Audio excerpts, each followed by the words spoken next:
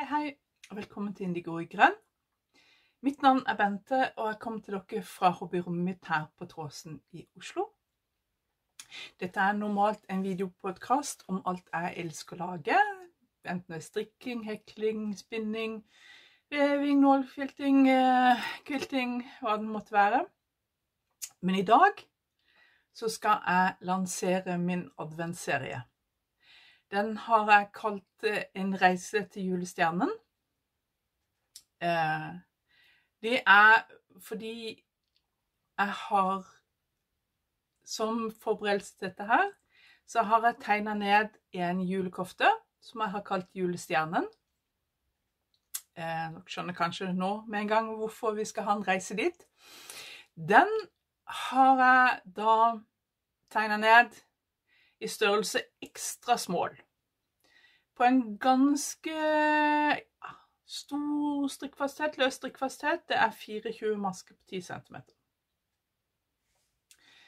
Eh, så dette er jo da altfor, altfor smått for de aller, aller, aller fleste av oss. Og det er hele poenget. Um, det er utgangspunktet for reisen. Um, så det jeg skal gjøre på den reisen, det er å ta med dere på hva som inspirerte meg når jeg lagde de ulike panelene eh, i mønsteret til denne kofta. Jeg skal fortelle hvordan du kan tilpasse denne kofta her, som er altfor liten, til en hvilken som helst størrelse, til et hvilket som helst garn, til en hvilken som helst strikkfasthet. Ja, og så skal jeg jo da vise hvordan min blir, da, for jeg kommer til å strikke denne her um, uh, julekofta. Det er jo egentlig en julekofte ment for meg. Uh, så OK. Uh, bare sånn for å vise Kan du tenke deg Dette her si sånn, Dette er ikke noe museumsstrikk, så jeg viser absolutt alt av mønster. Dette er et mønster jeg har tegna ned, så da er det bare å sette i gang. Dette her er bolen. Eh, som dere ser, så er det tre hovedpaneler. Én, to og tre. Dette vil være første søndag i advent, dette vil være andre søndag i advent, og det på øverste vil være fjerde søndag i advent. Tredje søndag i advent så skal vi gå gjennom ermene. Og da skal vi bruke disse to panelene her. På armene. Og dette her kan jo da ikke brukes sånn som det står, men eh, det er hele poenget. At jeg skal, eh, skal vise dere hvordan dere skal kunne tilpasse dette til dere selv. Dette vil være en nedenfra opp-genser med raglan. Så Bolen er jo da ikke tegna som raglan, og det er jo fordi at den skal tilpasses eh, hvem som helst. Og da er det bare tull å tegne den som raglan, for det at jeg kan tegne den som raglan til meg, men det vil jo ikke passe andre. Så, eh, så reglene er da at hver eneste episode Jeg skal lage fem av de. Én til hver søndag i advent. Neste søndag er da første søndag i advent. Kommer den første episoden. Og så skal jeg gå fram til i advent. Um, og da skal jeg lage en episode for den nedre delen av bolen. En episode for den øvre delen av bolen. En episode for Erman. Og en episode for Raglanden. Samt at jeg skal på den femte episoden, som kommer til å komme 25. desember, så kommer jeg til å gå gjennom montering. For det kommer til å være litt montering her. Litt klipping og litt sånn ymse. Uh, og litt tilpasning der òg.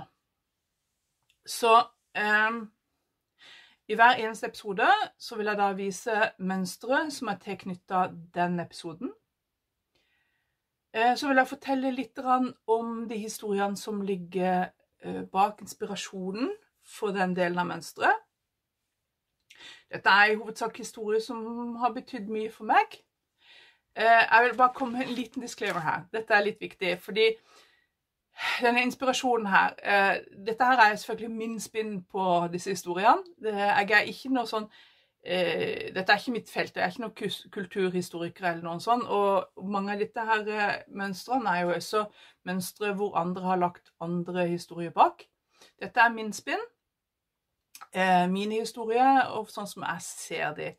Eh, jeg håper at det kanskje kan være interessant å høre hva jeg tenker på det når jeg gjør disse her tingene her. Eh, disse historiene er litt sånn litt faktisk historie. Det er litt mytologi. Eh, det er litt eventyr. Og det er litt sånn ymse. Jeg tenker at jeg skal si litt hvor jeg kommer fra, kanskje, fordi sånn at dere får en slags forventning av hva dette er, og hva dette ikke er. Um, jeg tenker at Når dere hører meg, så er det veldig mange som tenker at uh, hun er kristen. Uh, jeg er faktisk ikke det. Jeg er, jeg er, humanist. Jeg er medlem av Human-Etisk Forbund, og det har jeg vært siden jeg var 18 år. Uh, men jeg er veldig opptatt av alle historier fra alle deler av verden, fra alle tider, tidspunkter vi har hatt, som sier noe om hvordan det er å være menneske. Hvordan vi kan hvordan vi kan leve livene våre på en god måte. Eh, det har vært historier som har opptatt meg. Jeg var kanskje ikke så opptatt av den de delen da jeg var liten. Mange av disse historiene er historier som jeg har vært glad i siden jeg var liten. Men eh, de har vokst på meg, og jeg har skjønt at disse historiene er egentlig ikke for barn. Disse historiene er egentlig ganske dype, eh, en del av de. Og jeg har lyst til å fortelle litt om hva jeg ser i disse historiene. Dette er kanskje ikke um, de historiene dere forventer å høre. Det er ikke de tradisjonelle julehistoriene. Men de vil alle ha noe med jul å gjøre. På en måte. Um, noen mer enn andre, men, på en måte. Mye vinter og mye jul. OK. Så jeg håper dere syns det er spennende, at det ikke bare blir eh, At eh, dere ikke Fordi det ikke er det dere forventer i en adventsserie, blir sinte på meg, men at dere faktisk tenker at det har vært mange mennesker som har fortalt historier på en klok måte gjennom historien, og at vi kanskje har noe å lære av de òg. Og at veldig mange av de eventyrene vi har at vi har tenkt på de som barnefortellinger, mens de egentlig har ganske mye å si oss hvis vi faktisk lytter. OK, det var en litt sånn eh, Vi kan kalle det moralistisk, men en litt sånn seriøse seriøs delen av dette her. Tilbake til hva jeg holdt på med. Det var å si hva jeg skal gjøre i hver episode. Så i hver episode kommer jeg til å fortelle litt om inspirasjonen bak eh, det mønsteret jeg har eh, brukt. Eh, så ja, og kommer til å vise det fram. Så kommer jeg til å vise hvordan eh, mitt prosjekt ser ut etter hvert, og eh, hvor langt jeg er kommet. Og så, altså hvordan det blir i strikk. Og så kommer jeg til å vise hvordan eh, du kan modifisere mønsteret sjøl.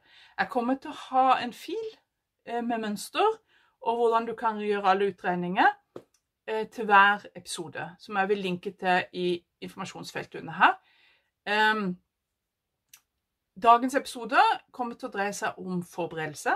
Eh, om uh, finne garn, bestemme garn, hvor mye trenger du garn, som er litt vanskelig her, men det skal jeg komme tilbake til. til strikking av prøvelapp og måling av strikkfasthet. Det er dagens tema. og det kommer det til å være en link til en fil til under her. Eh, i informasjonsfeltet under her. Så det er bare å følge den linken, så finner dere fila. Eh, jeg har jukselapp under her, så hvis jeg ser mye ned, så er det fordi jeg har jukselapp. Så litt til forberedelser. Eh, hva trenger du av garn? det er litt sånn Du trenger tre farger. La oss si det. Vi starter med fargene. Du trenger tre farger. Du trenger en bakgrunnsfarge til himmelen. Du trenger mønsterfarge 1, som er det jeg har her som eh, grått eller hvitt. Og så trenger du en mønsterfarge 2, som er gul her, til stjernene. Og det er det du trenger farge. Um, jeg kommer til å strikke dette her i Fortunas høylandsull. Den strikker opp for meg omtrent som finull eller ask. Så jeg får omtrent samme strikkfasthet på den som når jeg bruker finullask på samme type, på samme tjukkelsepinne. Eh, dere trenger ikke det. Dere kan bruke tjukkgarn, dere kan bruke tynnere garn, dere kan bruke akkurat hva dere vil. Eh, avhengig av om dere vil ha en tynn innegenser, en mellomtjukk genser, en, um, en eh, tjukk genser til å som kåpe utafor, for eksempel. La oss si sånn at eh, hvis du er veldig liten, så er det kanskje Altså hvis du har veldig lav omkrets Hvis du f.eks. er rundt 80 over bysten, så bør du ikke bruke et garn som har mindre enn 24 masker eh, per 10 cm.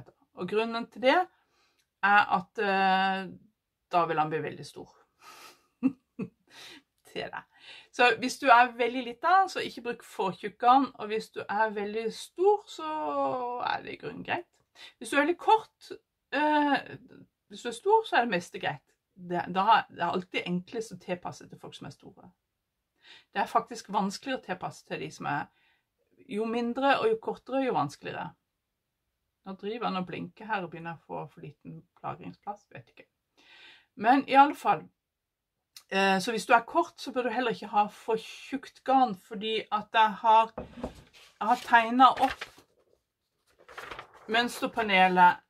Og hvis du, en, hvis du, er kort og du vil ha en litt sånn uh, kort jakke, så kan det være lurt å ikke gjøre Å ikke gjøre Hei, hei igjen. Jeg gikk tom for plass på uh, mobilen min. Jeg skjønner ikke helt hvorfor det skjer hele tida, men det jeg holdt på med, det var å fortelle deg hva du trenger av garn. Som sagt, du trenger tre forskjellige farger en eh, bakgrunnsfarge til himmelen. Så trenger du en, en, kontrastfarge til snø og dyr og skog og litt sånn forskjellige. Og så trenger du en kontrastfarge nummer to, som er til til til stjerner. OK det jeg har brukt. Det her er bunnfarven. Det er en uh, Dette her er begge to i uh, Fortunas Fortunas uh, høylandsull. Den grønn-blå, det er uh, det er husmannsplassen Liahaugen. Og den gule er gull.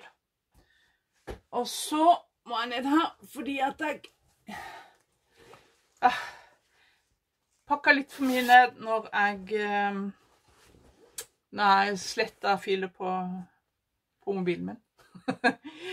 Den siste, de er en uh, hvit med veldig, veldig små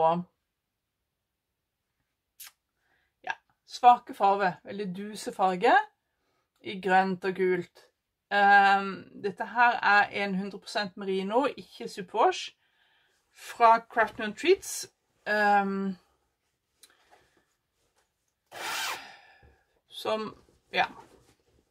Den er fingering weight, men den er ganske luftig fingering. Så den strikkes opp til omtrent samme tjukkelse som gatebutikken Fortunas høylandsull. Ja, så det er de jeg har valgt. Um, så Men hvor mye du trenger av de forskjellige Du trenger ikke mer enn et 100 grams nøste med gult. Jeg bruker gult på innsida i alle uh, Jeg lager opprettkanter nederst langs alle kanter, rå kanter, for å, for å, skjule oppklippskantene. Men også nederst, for jeg liker sånne, sånne oppretta kanter. Og inni de så bruker jeg gult. Så du trenger litt Eh, og så er det gult til disse stjernene her.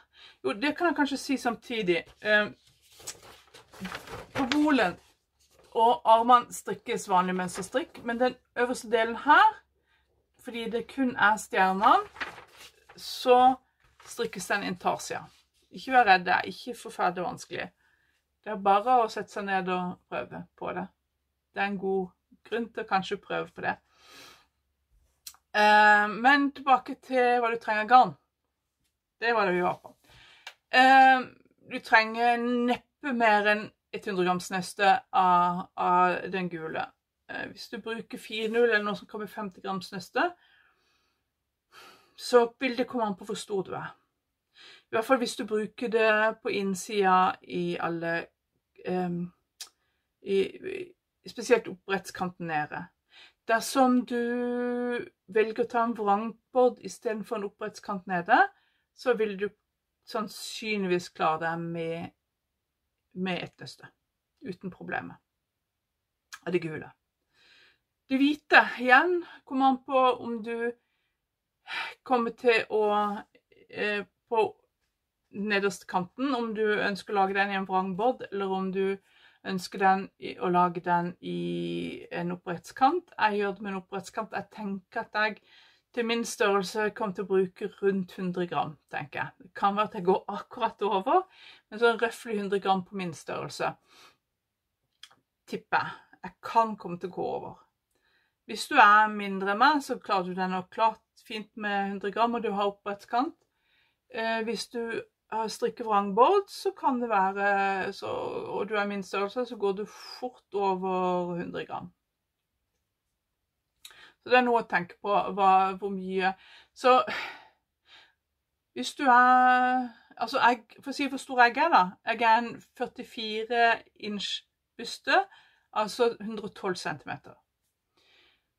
Så hvor mye du trenger det hvite, det kommer helt an på hvor stor størrelse du lager, og, hvor mye, og hvordan du velger å gjøre den nedre kanten. Om du tar alle kanter på ermene og nederst og her som en vrangbord, så kommer du til å bruke mer av den hvite enn meg.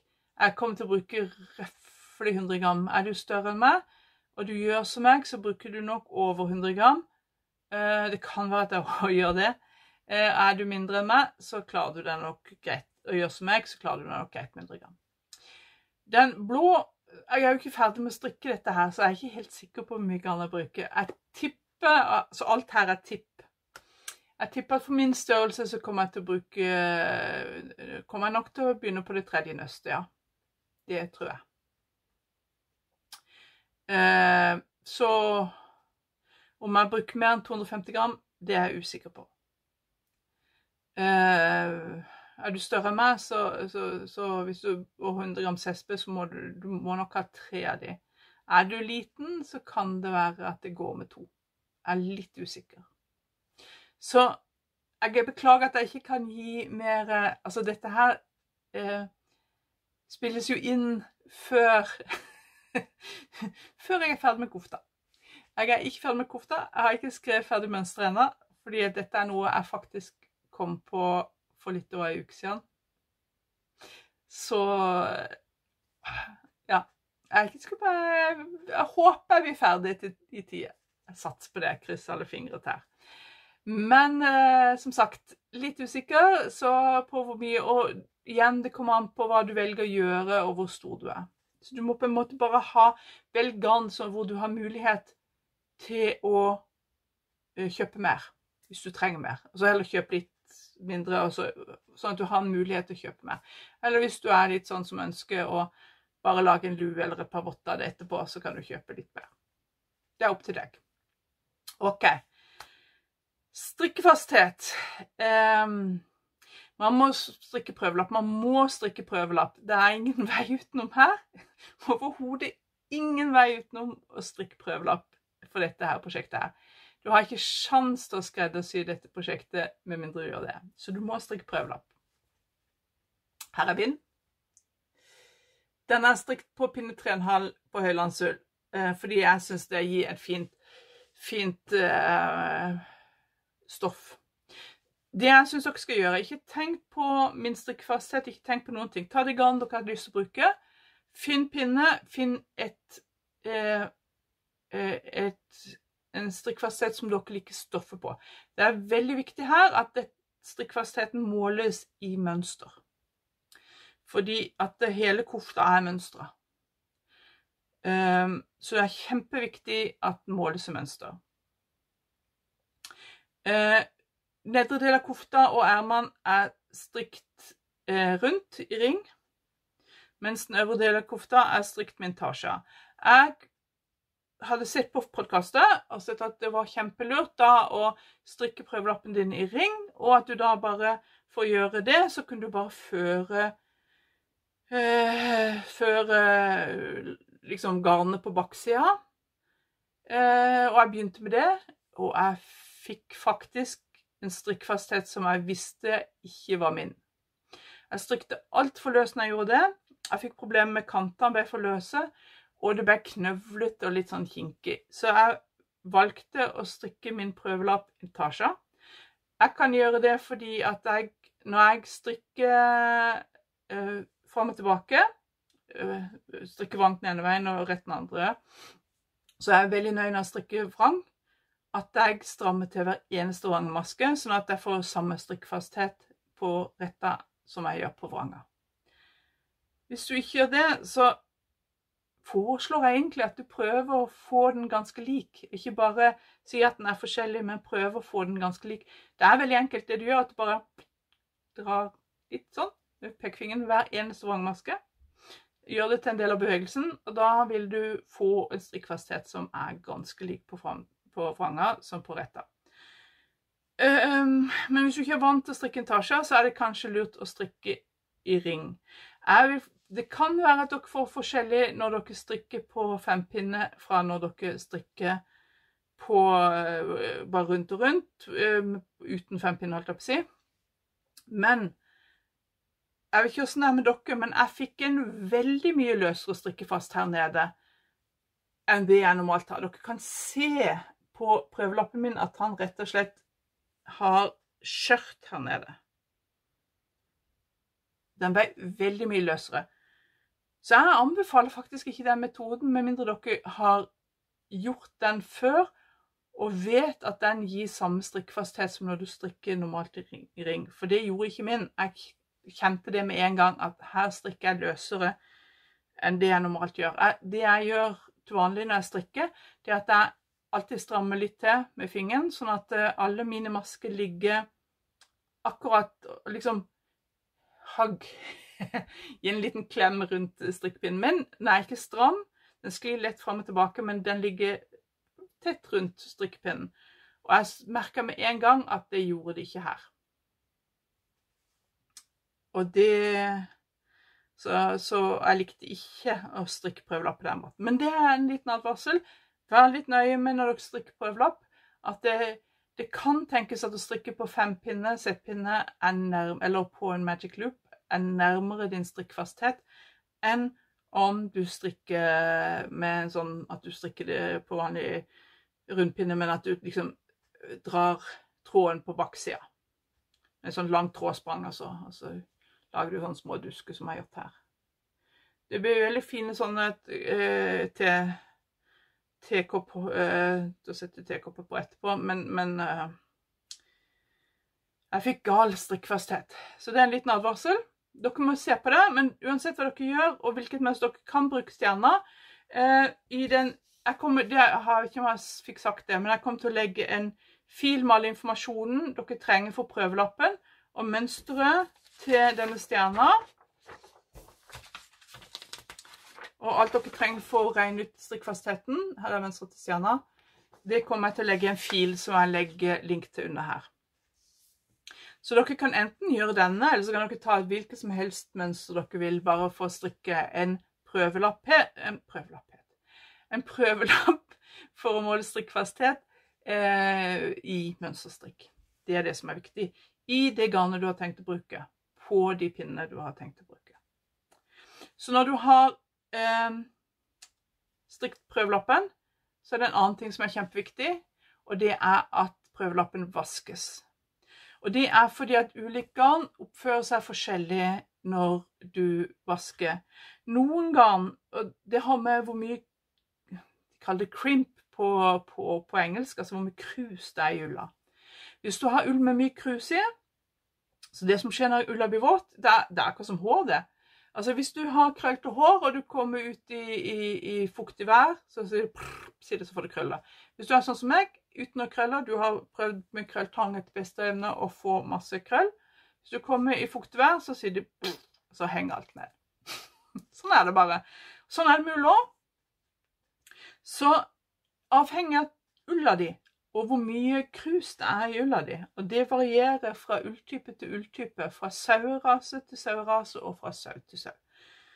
Det er jo kjempeindividuelt, så du må ta det garnet du skal bruke, strikke prøvelapp og vaske den.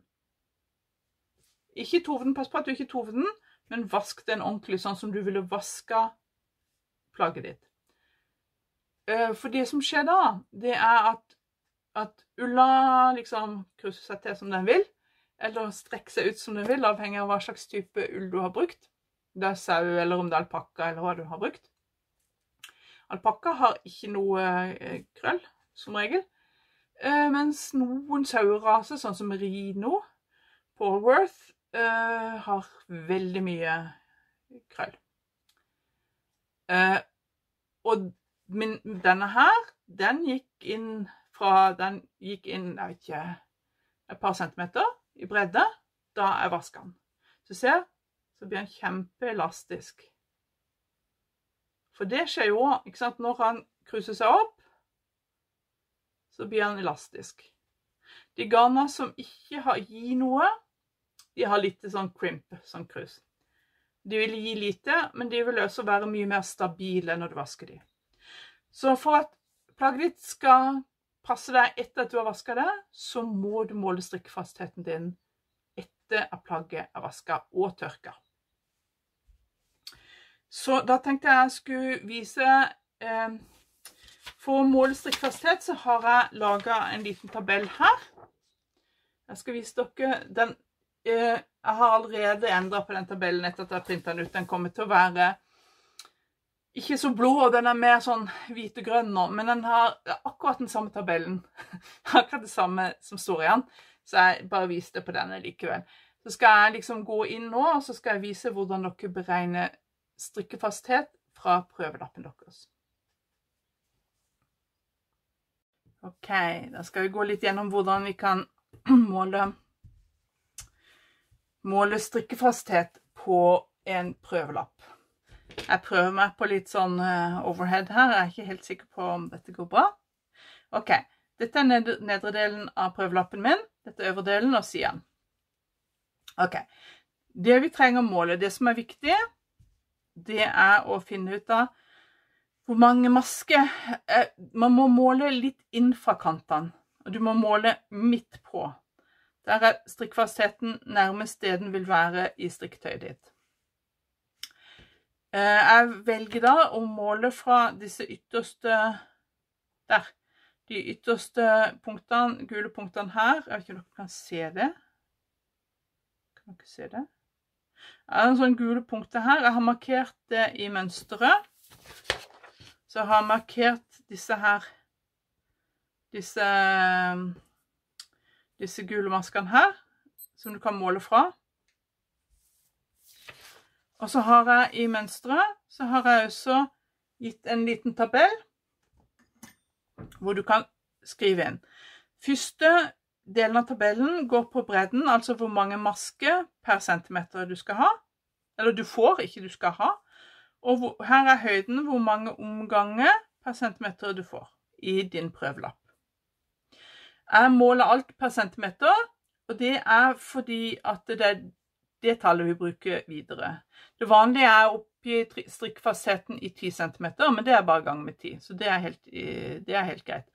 Men for at dette skal bli nøyaktig nok, så må du ha flere desimaler. Så jeg har to desimaler på. Legg merke til jeg bruker blyant, for blyant kan viskes ut hvis du skriver feil.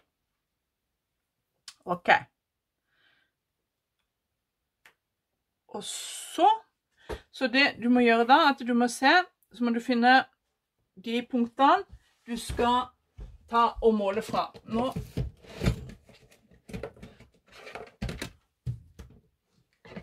Å, himmel og hav. Da glemte jeg å legge fram Hvor har jeg lagt den? Her var. Så må du ha en kalkulator. Dette er alltid forberedt. Always prepared. Her. Kalkulator. Min herlige eh, limegrønne kalkulator. OK. Så det, vi skal først måle, og så skriver vi inn, og så regner vi. OK. Vi starter med strikkefastheten. Um,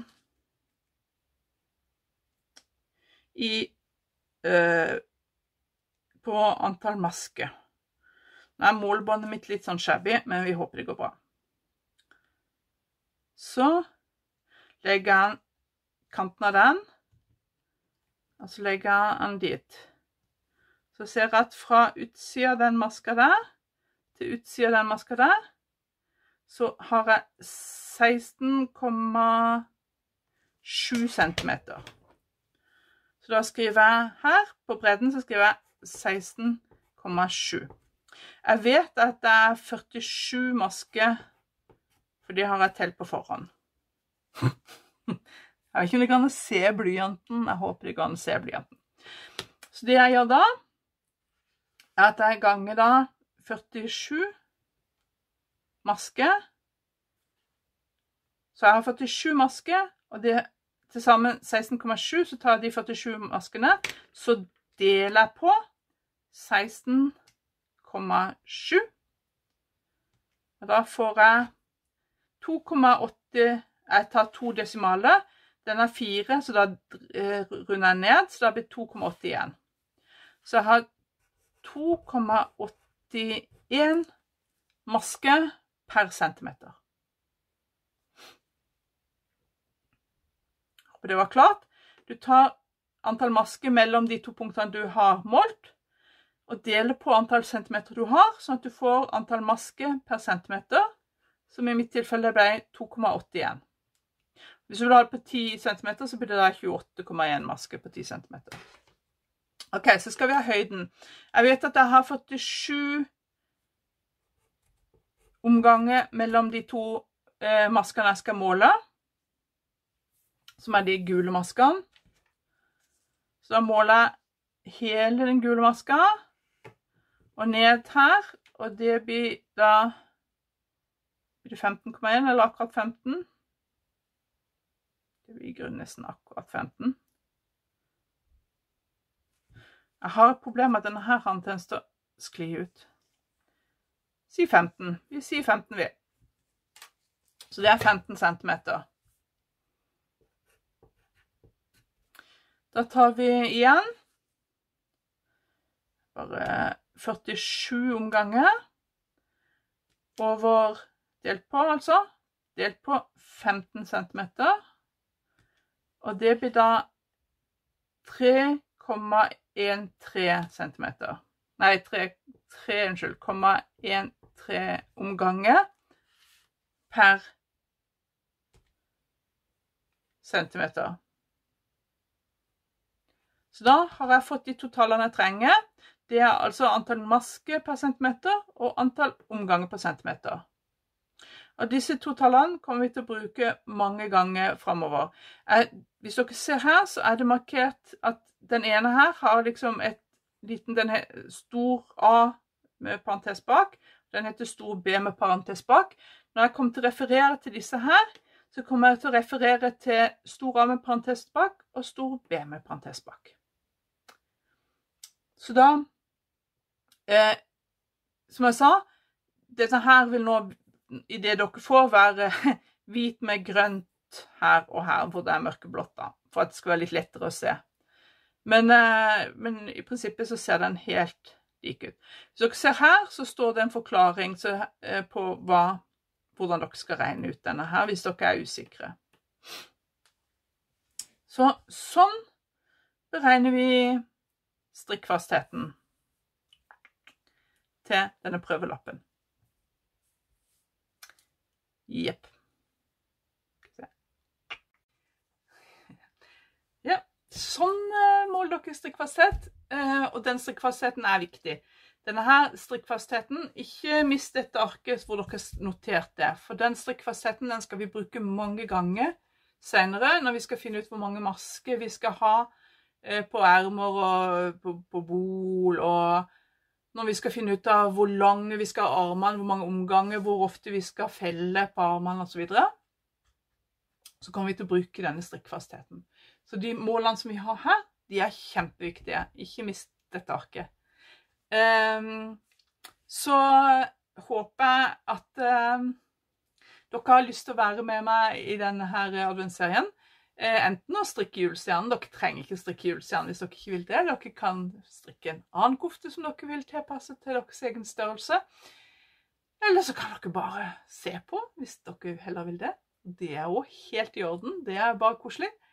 Eh, det som er koselig, er dere er med. Og dere må gjerne kommentere hvis dere vil det. Um, jeg vil bare til slutt så vil jeg bare minne om samstrikkene mine. For nå er det ikke lenge igjen for, eh, for den ene samstrikken som er Hva i himmelens navn gjør jeg med dette garnet? Um, den går ut Den trekker jeg den 1. desember. Eh, det kommer jeg til å, til å, lage en liten egen ekstra episode på, fordi at nå er vi jo inne i, inne i denne adventsserien. Eh, så det er bare å gå inn og legge inn der. Eh, jeg kan kanskje si hva dere kan vinne. Dere kan vinne dette hespet med hjemmespunnet garn som har spunnet. De er nesten 200 meter, nei 200 gram. De er 176 gram og 503 meter. Altså med et par sånn maskemarkører på. Så det kan dere vinne. Skal se. Hvis dere lurer på hvordan de strikker opp, jeg har faktisk en prøvelapp på det. Så det ser litt sånn crazy ut. Men sånn ser det ut når du strikker det opp. Det blir faktisk veldig fint oppstrikka. Mye mindre crazy enn det ser ut. Så det var Den andre samstrikken jeg fryktelig gjerne vil minne om, det er Amanda-samstrikken. Hvor vi strikker um, eh, ting til Amanda-prosjektet. Tepper, luer, eh, babyting til Amanda-prosjektet, som samler inn babytøy til eh, nyfødt-intensiven, som, som, tar seg av eh, nyfødte og premature som trenger å tilbringe en stund på sykehuset. Eh, jeg kommer til å linke bakerst til en video hvor jeg snakker om den samstrikken. Så håper jeg Jeg ville bare minne om det, og så håper jeg at dere ønsker å være med meg på denne Dette er min reise til julestjernen. Så jeg håper dere tar deres egen lille reise til julestjernen, og at dere koser dere med det. Ok, Ha det bra. Da ses vi om en uke. Og en uke er første søndag advent. Ha det bra.